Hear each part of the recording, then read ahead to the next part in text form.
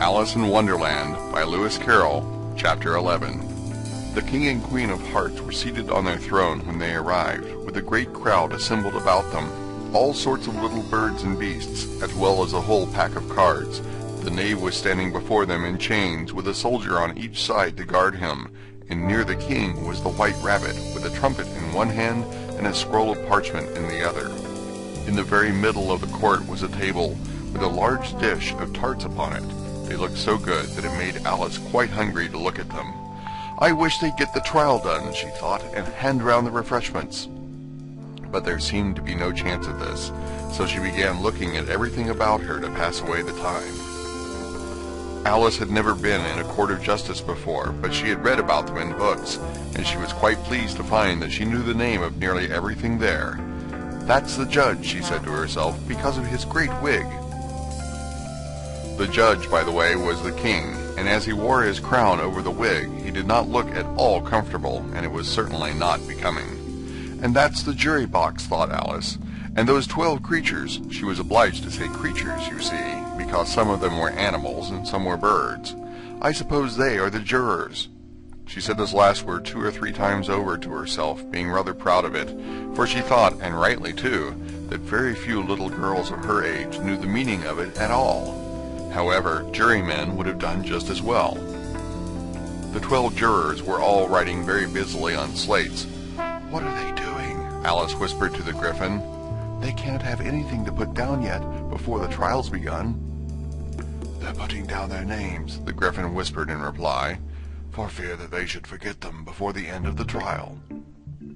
Stupid things! Alice began in a loud, indignant voice, but she stopped hastily, for the white rabbit cried out, Silence in the court! And the king put on his spectacles and looked anxiously round to make out who was talking. Alice could see, as well as if she were looking over their shoulders, that all the jurors were writing down stupid things on their slates, and she could even make out that one of them didn't know how to spell stupid, and that he had to ask his neighbor to tell him. A nice muddle their slates will be in before the trial's over, thought Alice. One of the jurors had a pencil that squeaked. This, of course, Alice could not stand, and she went round the court and got behind him, and very soon found an opportunity of taking it away. She did it so quickly that the poor little juror, it was Bill the lizard, could not make out at all what had become of it, so, after hunting all about for it, he was obliged to write with one finger for the rest of the day, and this was of very little use, as it left no mark on the slate. Herald, read the accusation, said the king. On this the white rabbit blew three blasts on the trumpet, and then unrolled the parchment scroll and read as follows. The Queen of Hearts, she made some tarts, all on a summer day. The Knave of Hearts, he stole those tarts, and took them quite away. Consider your verdict, the king said to the jury. Not yet, not yet, the rabbit hastily interrupted. There's a great deal to come before that. Call the first witness, said the king, and the white rabbit blew three blasts on the trumpet and called out, First witness! The first witness was the Hatter. He came in with a teacup in one hand and a piece of bread and butter in the other. I beg pardon, your majesty, he began, for bringing these in, but I hadn't quite finished my tea when I was sent for. You ought to have finished, said the king. When did you begin? The Hatter looked at the March Hare, who had followed him into the court, arm in arm with the Dormouse. Fourteenth uh, of March, I think it was, he said. Fifteenth, said the March Hare. Sixteenth, added the Dormouse. Write that down, the king said to the jury, and the jury eagerly wrote down all three dates on their slates, and then added them up and reduced the answer to shillings and pence. Take off your hat, the king said to the Hatter. It isn't mine, said the Hatter. Stolen, the king exclaimed, turning to the jury, who instantly made a memorandum of the fact. I keep them to sell, the Hatter added as an explanation. I've none of my own. I'm a hatter. Here the queen put on her spectacles and began staring at the Hatter, who turned pale and fidgeted. Give your evidence, said the king, and don't be nervous, or I'll have you executed on the spot. This did not seem to encourage the witness at all. He kept shifting from one foot to the other, looking uneasily at the queen, and in his confusion he bit a large piece out of his teacup instead of the bread and butter. Just at this moment, Alice felt a very curious sensation, which puzzled her a good deal until she made out what it was. She was beginning to grow larger again, and she thought at first she would get up and leave the court, but on second thoughts she decided to remain where she was as long as there was room for her. I wish you wouldn't squeeze so, said the Dormouse, who was sitting next to her. I can hardly breathe. I can't help it, said Alice very meekly. I'm growing. You've no right to grow here, said the Dormouse. Don't talk nonsense, said Alice more boldly. You know you're growing too. Yes, but I grow at a reasonable pace, said the Dormouse, not in that ridiculous fashion. And he got up very sulkily and crossed over to the other side of the court. All this time the Queen had never left off staring at the Hatter, and just as the Dormouse crossed the court, she said to one of the officers of the court, Bring me the list of the singers in the last concert, on which the wretched Hatter trembled so that he shook both his shoes off. Give your evidence, the king repeated angrily, or I'll have you executed, whether you're nervous or not. I'm a poor man, your majesty, the Hatter began in a trembling voice, and I hadn't begun my tea not above a week or so. And what with the bread and butter getting so thin, and the twinkling of the tea... The twinkling of the what? said the king. It begun with the tea, the Hatter replied.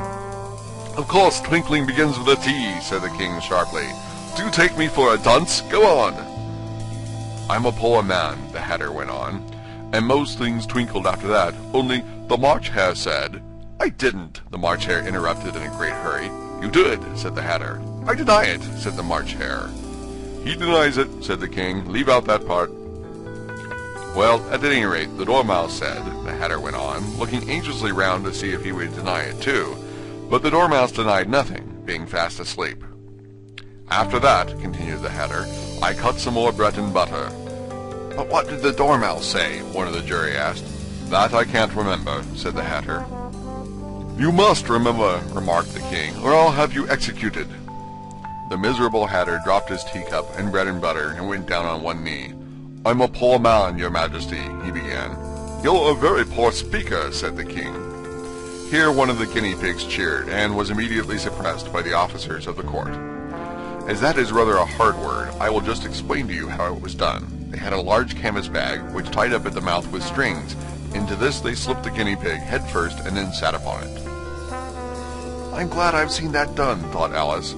I've so often read in the newspapers at the end of trials there was some attempts at applause which was immediately suppressed by the officers of the court, and I never understood what it meant till now. If that's all you know about it, you may stand down, continued the king. I can't go no lower, said the Hatter. I'm on the floor as it is. Then you may sit down, the king replied. Here the other guinea pig cheered, and was suppressed. Come, that finished the guinea pigs, thought Alice. Now we shall get on better.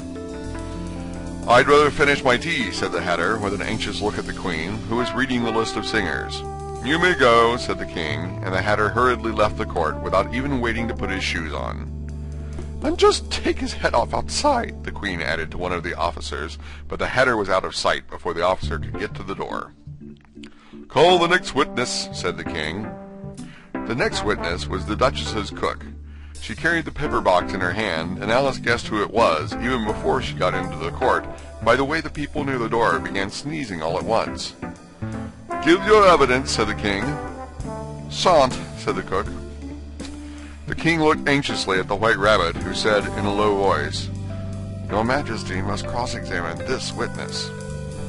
Well, if I must, I must, the king said, with a melancholy air, and after folding his arms and frowning at the cook till his eyes were nearly out of sight, he said in a deep voice, What are hearts made of? Pepper, mostly, said the cook. Treacle, said a sleepy voice behind her. Call that dormouse, the queen shrieked out. Behead that dormouse! Turn that dormouse out of court! Suppress him! Pinch him!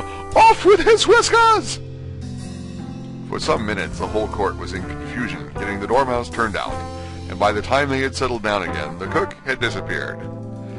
Never mind, said the king, with an air of great relief. Call the next witness. And he added in an undertone to the queen, Really, my dear, you must cross-examine the next witness. It quite makes my forehead ache. Alice watched the white rabbit as he fumbled over the list, feeling very curious to see what the next witness would be like. For they haven't gotten much evidence yet, she said to herself. Imagine her surprise when the White Rabbit read out at the top of his shrill little voice the name Alice! End of chapter 11.